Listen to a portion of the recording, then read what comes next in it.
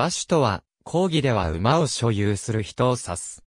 本校では主に競走馬を所有している人、法人、組合について触れる。馬主として活動するためには、各競馬主催者による馬主登録が必要である。また、中央競馬、地方競馬、両方に競走馬を所有している馬主も少なからず存在する。日本では競走馬がレースで8着以内に入れば賞金を獲得するが、その賞金の10%が調教師、騎乗した騎手と厩務員に5%ずつがそれぞれ新乗金として配分され、残りの80%が馬主の収入となる。また、自ら所有することを目的として競走馬の生産を行う生産者のことをオーナーブリーダーという。日本における相馬会法人や競走馬生産牧場など別途、規定が設けられているものもあるが、基本的に馬主として登録し活動するためには、基本的に一定規模の資産と年収が必要であり、馬主になるにあたっては、審査に合格しなければならず、また実際に経費面を考えれば、一定の剰余資産がなければ、馬主業は安定して務まらない。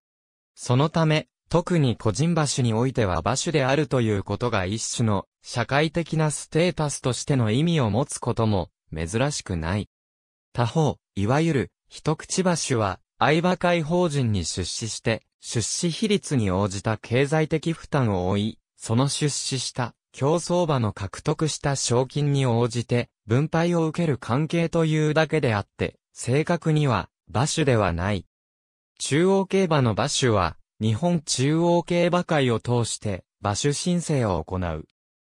青年非後見人または、非補佐人を結核条項とする規定については、令和元年6月14日に交付された、青年非公権人等の権利の制限にかかる、措置の適正化等を図るための関係法律の整備に、関する法律によって削除され、心身の故障等の状況を個別的、実質的に審査し、必要な能力の有無を判断することとなった。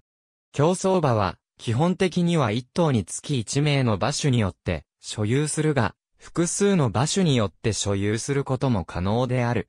共有する理由として、以下の理由が挙げられる。1名につき、共有も含めて100頭までとなっている。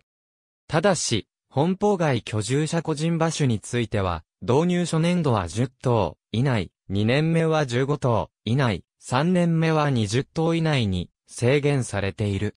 本邦外居住者個人馬種についてのみ、内国産馬の所有を義務付けている。最初の5頭は、内国産馬でなければならず、6頭目で外国産馬が認められる。すなわち、外国産馬の所有割合は6頭に1頭となる。馬種は登録された名称とは別の名称を設定することができる。馬種登録をした時点で、同姓同名の馬種が存在していた場合、混同を避けるため名前の後ろに、馬種登録番号を追加して区別する。勝負服は馬種ごとに設定される。設定できる勝負服は一つまでで、後日変更が可能。共有馬は共有代表馬種の勝負服を使用する。詳しくは JRA 競馬施行規定第7条及び第11条に記されている。馬種が死亡した場合、死後1ヶ月までは競走馬の所有名義は有効となる。その間、相続人への競走馬の所有権移転を行わなければならない。法人馬主の代表者が亡くなった場合、死後1ヶ月までは競走馬の所有名義は有効となる。その間、新たに就任する代表者が馬主登録の審査基準を満たしている場合は、所有権移転は生じない。満たしていない場合はその法人が相続馬限定馬主となり、新規で競走馬を登録することができない。相続した馬がすべて抹消するまで資格は有効となる。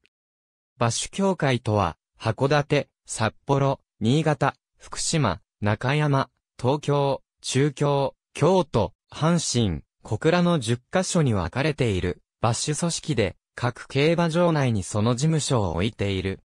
大半の馬主はいずれかの馬主協会に所属しているが、二つの協会に所属している馬主や、無所属の馬主も少なからずいる。協会では、馬主の親睦のほか寄付などの福祉活動も行っている。また、各馬主協会の統括組織として、日本馬主協会連合会がある。最近は、ジョアチャリティーオークションを、競馬場にて主催し福祉関係にその、売上金を寄付している。馬主席は、馬主協会を通じて申し込むため、全国のいずれかの馬主協会に所属していなければ、席の確保が難しい。また、割り当て席数の都合上所属協会と競馬場は、同一、もしくは、同地域でなければさらに難しくなる。また、共有馬のみの馬主に対しても、馬主協会によっては難しい場合がある。G1 競争に所有馬が出走している場合は、専用の出走馬主室に入ることができる。馬主以外の人が馬主席に入るには、馬主の紹介以外に方法はない。なお、馬主席への入場にあたっては男女ともドレスコードが設定され、清掃が義務付けられている。通常は洋装の場合、男性は少なくともジャケット、またはスーツネクタイ、革靴を着用していなければならず、スニーカーやジーンズなどのカジュアルな服装では、基本的に入場が拒否される。ただし2020年現在、下記については、クールビズの観点から、ネクタイやジャケットの着用は、不要とされている。第22回兵庫ダービーの優勝馬、スマイルサルファーの口取りの様子。馬主、松野新一や管理調教師の渡瀬博士明らが参加している所有馬がレースに優勝した時には、ウィナーズサークルにて行われる表彰式で口取りができる。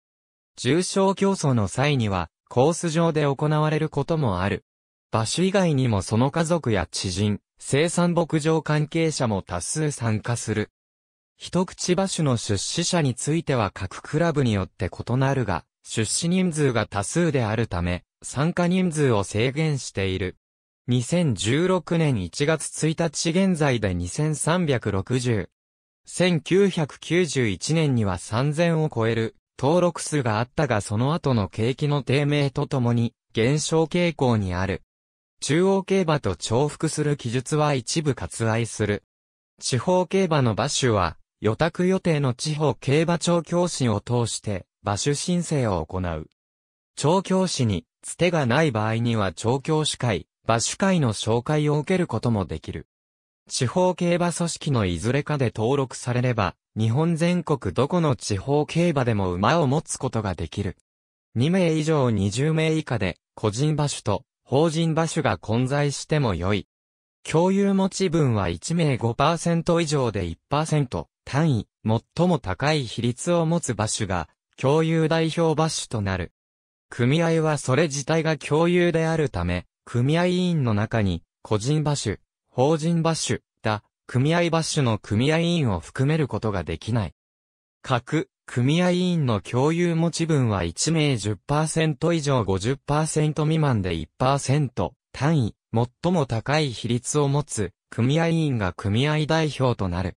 勝負服は機種ごとに設定されるため、馬主の勝負服は存在しない。2006年5月末の時点で6287。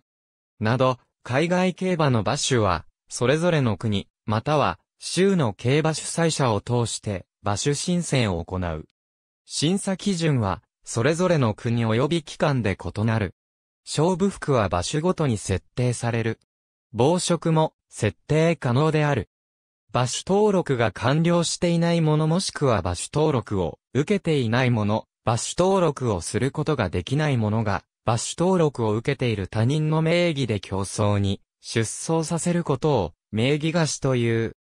競馬施行規定第11条第4号により禁止されており、名義貸し行為の事実が発覚した場合、名義を貸した馬主は登録の取り消し処分となる。